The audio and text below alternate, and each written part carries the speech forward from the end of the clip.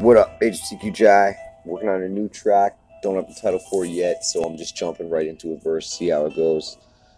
Something like this. Beautiful lakes and ocean vistas, coastal shores. Hey, listen, mister, we got problems and you ain't solving them with your fistful of dollars. So I gotta holler, this waterfall is just not the bother.